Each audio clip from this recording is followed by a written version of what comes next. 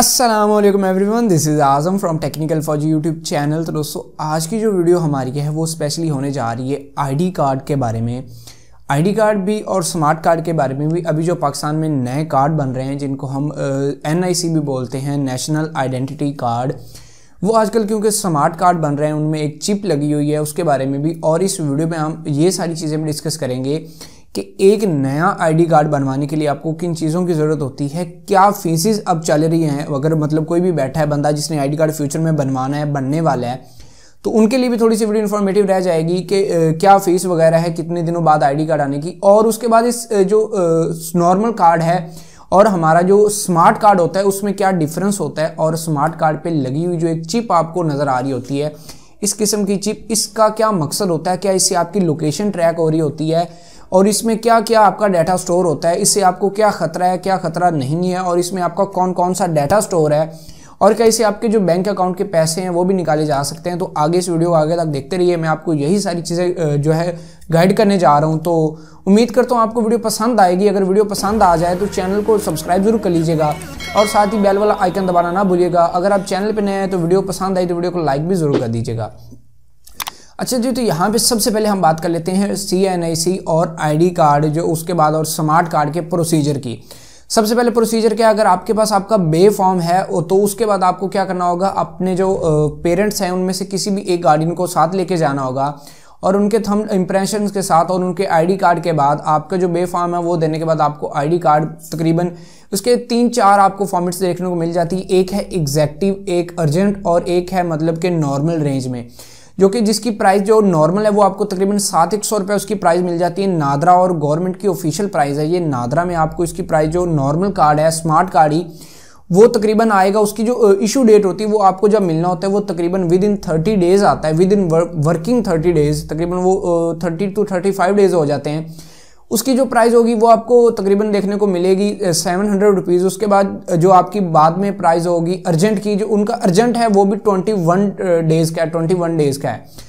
तो अभी यहाँ पे जो मैंने बनवाया कार्ड वो एग्जैक्टिव कार्ड है, जिसकी फ़ी आपको पे करनी पड़ेगी ट्वेंटी फाइव हंड्रेड और उसके बाद जो उनका अर्जेंट कार्ड है, वो जो ट्वेंटी वन डेज़ में आता है, उसकी फ़ीस पंद्रह सौ रुपये है। और जो इसकी प्राइस जो मैंने आईडी कार्ड बनवाया है क्योंकि मुझे ज़रूरत थी मेरी अभी अभी एज पूरी हुई अठारह साल तो मैंने ये बनवाया तो मुझे ये ज़रूरत थी, इसकी थोड़ी सी जल्दी ज़रूरत थी तो मैंने एग्जैक्टिव कार्ड बनवा लिया है। इसकी जो फ़ी मुझे पे करनी पड़ी है, वो करनी पड़ी है ट्वेंटी फाइव हंड्रेड और ये within three two four days आ गया था मेरे पास, क्योंकि मैंने मंडे को अप्लाई करा और ये थर्सडे को मेरे पास आ गया। तो मैं गया नादरा मुझे मैसेज मसूल हुआ नादरा की तरफ़ से।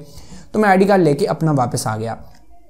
अच्छा जी यहाँ पे इंटरेस्टिंग फैक्ट ये है कि जब मैं इसको लेके वापस आया तो मुझे किसी मेरे दोस्त ने कहा, जो कि मतलब काफ़ी मेरा बेस्ट फ्रेंड था, उसने मुझे कहा कि जो तुम्हारे तुम्हारे स्मार्ट कार्ड में ये जो चिप लगी हुई है, इसके ज़रिए गवर्नमेंट तुम्हारी लोकेशन ट्रैक कर पा सकती है और उसके बाद अगर वो भी कुछ इस तरह की बातें करने लग गया जो मुझे कुछ भी समझ नहीं आ रही थी तो मैंने इस पर जो है स्टडी स्टार्ट कर दी और मैंने काफ़ी ज़्यादा इंटरनेट पर वीडियोज़ भी देखी और भी काफ़ी जगह पे मैंने सर्च करा कि इस चिप का मेन मकसद क्या है।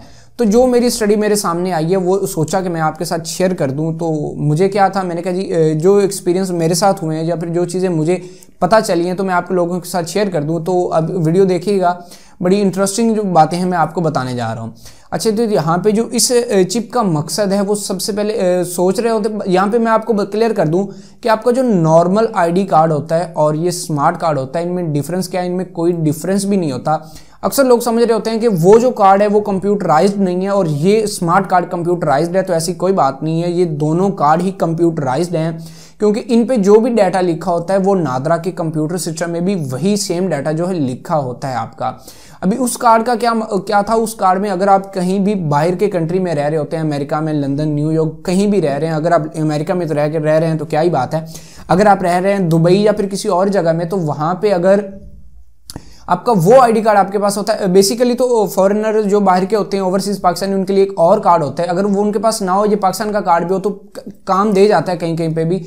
तो अगर वहाँ पे उनके पास वो कार्ड होता है तो वहाँ की गवर्नमेंट जो है, वहाँ वो इस तरह से इजीली नहीं देख पाती कि ये आईडी कार्ड ओरिजिनल है या फिर नहीं ओरिजिनल तो स्मार्ट कार्ड में क्या होगा, इस लगी चिप के ज़रिए जो है, वो आप, वो उनके पास एक मशीन होती है, उनमें जब भी इंसर्ट करते हैं तो वहाँ पे जो ऑनलाइन डाटा होता है, नादरा का वो उनको देखने को मिल सकता है। आप आप और मैं नॉर्मल बंदे नहीं देख सकते हैं, ये कंपनीज़ देख सकती हैं जो कि डायरेक्टली नादरा से कनेक्टेड होती हैं या फिर कोई भी बैंक हो सकता है तो उनमें आपको ये फ़ायदा हो जाता है। उसके बाद इस चिप में जो आपका तमाम डाटा होता है, जो जो चीज़ें आपकी कार्ड में लिखी हुई है जो, और जो चीज़ें आपके कार्ड पे नहीं भी लिखी हुई, जिसमें आपका फैमिली ट्री होता है फैमिली मेंबर्स के नाम होते हैं या सारी जितनी भी डिटेल्स होती हैं, वो इस चिप में स्टोर की गई हैं।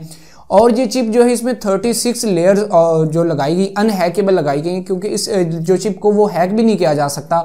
तो आपका डाटा बिल्कुल सिक्योर सर्वर पे पड़ा हुआ है, नादरा के पास पड़ा हुआ है तो आपको कोई परेशान होने की ज़रूरत नहीं है।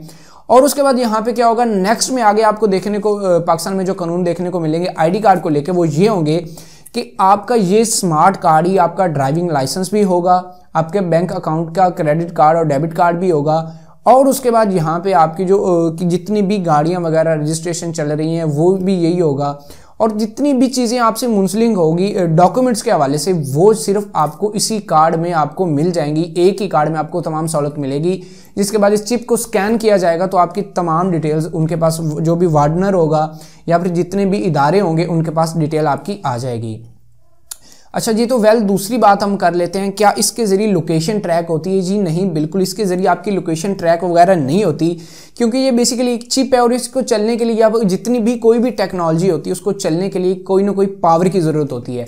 अगर आप कह दें कि आपके पर्स में फिर रहे हैं और आप कहीं भी फिर रहे हैं तो गवर्नमेंट आपकी लोकेशन ले सकती है। तो ये बिल्कुल गलत बात है। इस तरह से गवर्नमेंट आपकी लोकेशन बिल्कुल नहीं ले सकती, क्योंकि इसको कहीं से पावर ही नहीं मिल रही। हाँ अगर आप इसको किसी ऐसी जगह पे इंसर्ट करते हैं, जहाँ से इसको पावर मिले फॉर एग्ज़ाम्पल आप एटीएम मशीन में डाल दें, या फिर किसी भी ऐसी मशीन में जो उसको स्कैन कर रही हो, उसको रीड कर रही हो, जो इसको पावर दे रही हो तो उसके बाद गवर्नमेंट आपकी लोकेशन देख सकती है। तो यही सारी चंद बातें थी मुझे आपके शेयर करनी थी। तो स्मार्ट कार्ड अगर आप चाह रहे हैं फ्यूचर में कोई भी कार्ड बनवाना तो मैं आपको रेकमेंड करूँगा कि आप स्मार्ट कार्ड ही बनवाएँ। चाहे आप एग्जैक्टिव बनवा लें अर्जेंट बनवा लें, या फिर काफ़ी लेट वाला बनवा लें, जो भी बनवाएँ।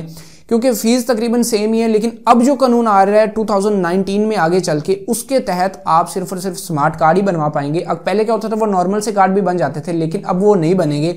आपको सिर्फ़ यही कार्ड बनवाना पड़ेगा और ये कार्ड आपका ईजिली बन जाएगा।